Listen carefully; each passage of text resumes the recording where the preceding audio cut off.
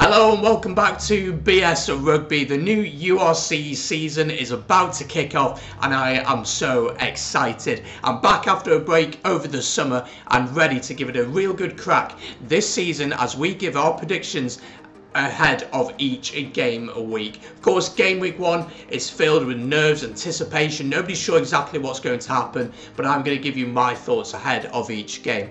As always, let me know your predictions in the comments down below. Leave a like on the video and subscribe to the channel. It's free to do, and make sure to get involved. Let's go through each of the games and let's see what I think is going to happen. Starting with the first game then, the game to kick off at the URC season of 22-23 sees Benetton hosting Glasgow Warriors down at the Stadio Monigo in Treviso. 5.30 kickoff UK time and that then means that that is a 6.30 local time kickoff. As I said, both teams will kick off the new season, so no pressure on them to set the standard for this year's competition.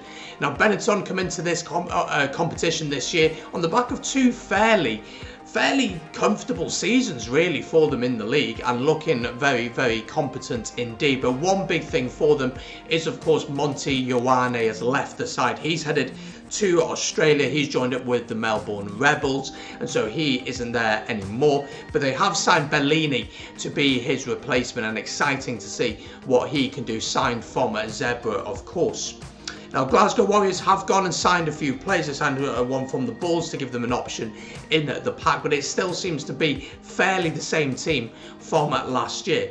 Now, Glasgow had a decent form at home, but away they did struggle a little bit last season.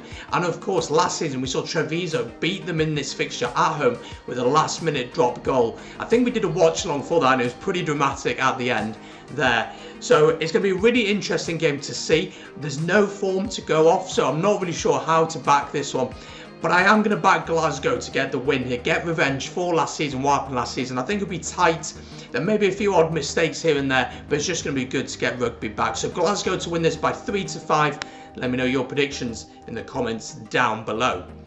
Let's move on then to the first game of the Saturday, sticking in Italy, but heading over to Parma, where Zebre will welcome last season's semi-finalists Leinster. That game kicks off at 1.30 UK and Irish time, that is 2.30pm local time in Italy. Last year's semi-finalists, as I said, Leinster travelling out to Italy for their first game. Now, for the Italians, uh, this season really needs to be so much better than last season. Last season, only one win finishing bottom of the competition and it's going to take a real challenge for them to get a win in this first game.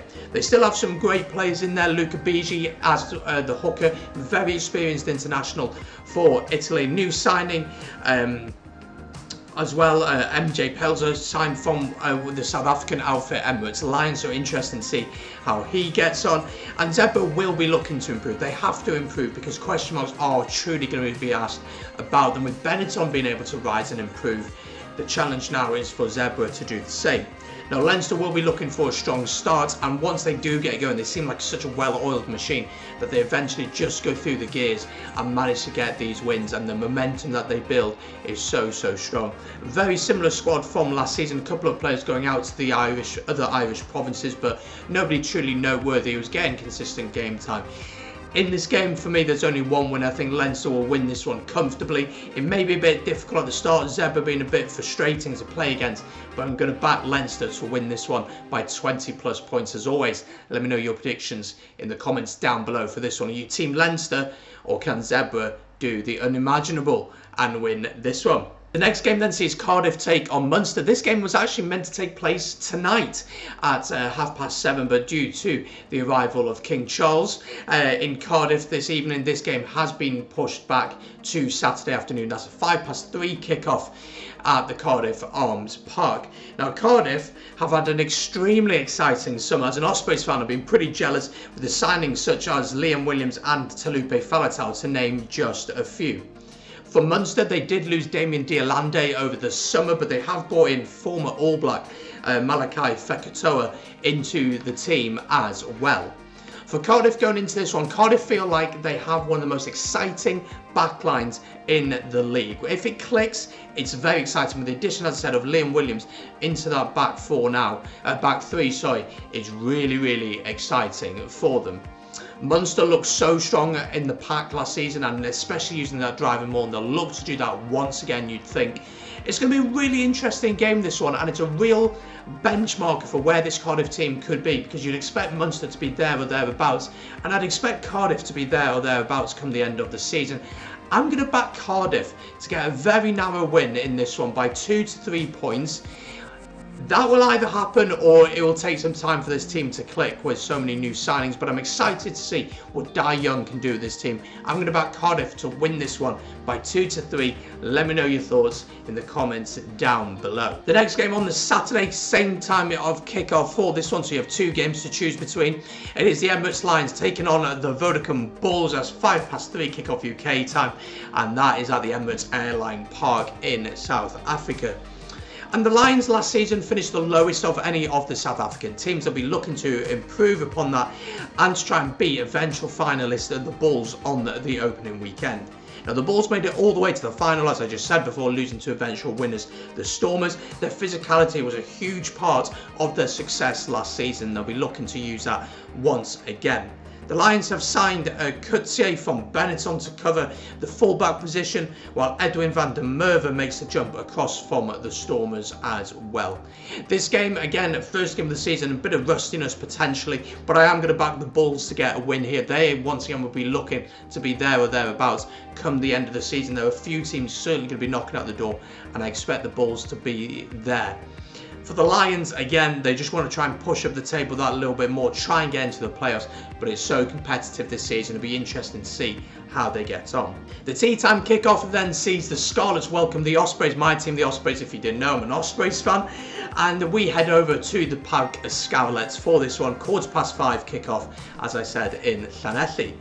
Now, last season was one of the worst for Welsh supporters in recent memory, if I'm being totally honest. The Ospreys finished the highest of any of the regions in ninth, Scarlets finishing in 10th.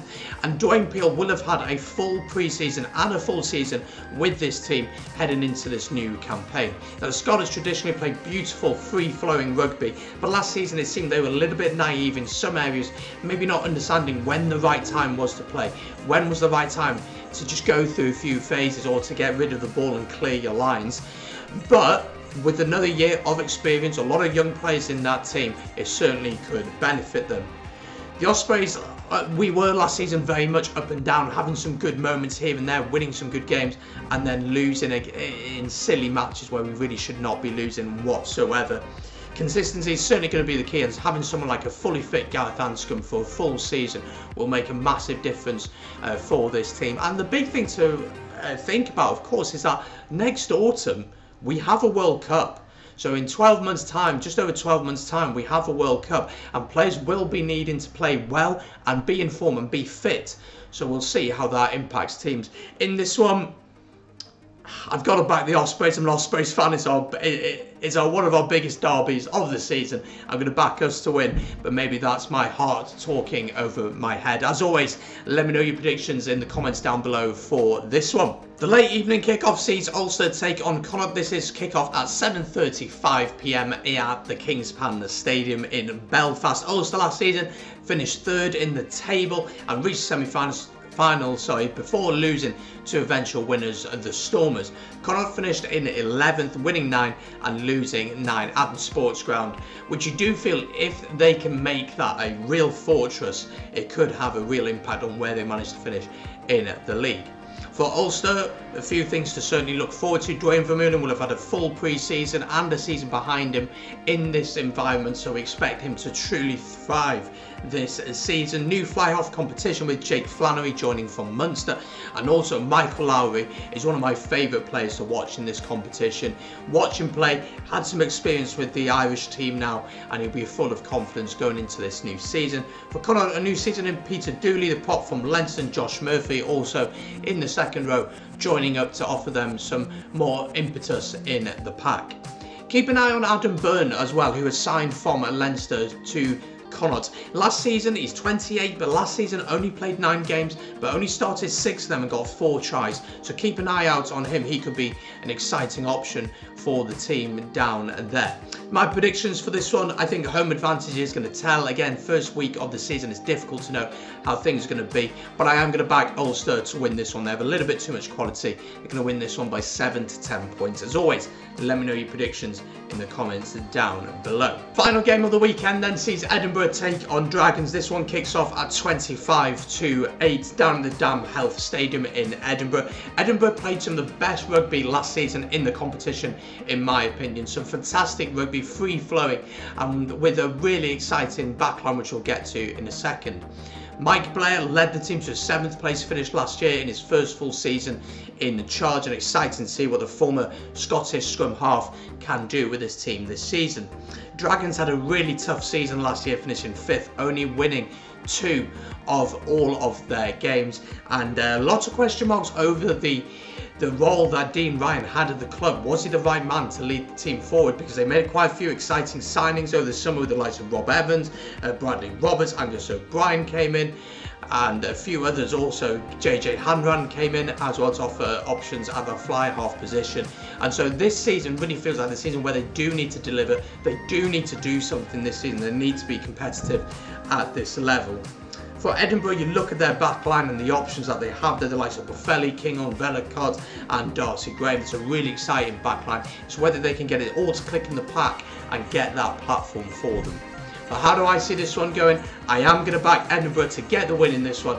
Edinburgh to win by 7 to 10 points. But it's going to be really interesting to see what these new signings do for this Dragons team and how long it takes for them to click together. But there we go. There are my predictions for this first game week of the season.